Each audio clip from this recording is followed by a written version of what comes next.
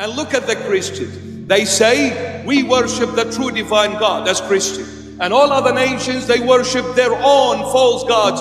But the Christians of today are re crucifying Christ once again because they are again being stubborn about the way they believe in Jesus Christ. Stubborn.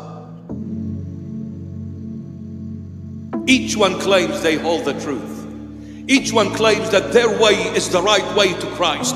Unless you are of this uh, of this faction, you can't make it. Unless you belong to the Catholic Church, you will not make it to Jesus Christ. Unless you belong to the Eastern Orthodoxy or the Oriental or like just all of you pack yourself up and get alive.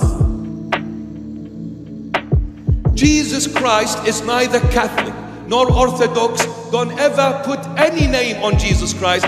Jesus Christ is one thing God revealed in the flesh. Period. Period. You need to know this truth. You need to come to this truth. You need to draw from this truth.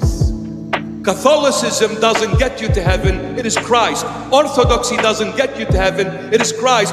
Orthodoxy, Catholicism, they need to learn on how to draw from this truth. The church doesn't hold the truth. The truth is Christ, the head of the church. The church is the body. Don't ever be the head. You cannot be the head. You can only learn from the head. You can only draw from the source of that head and live by what the head is telling you. But you don't hold the truth. The truth is Christ.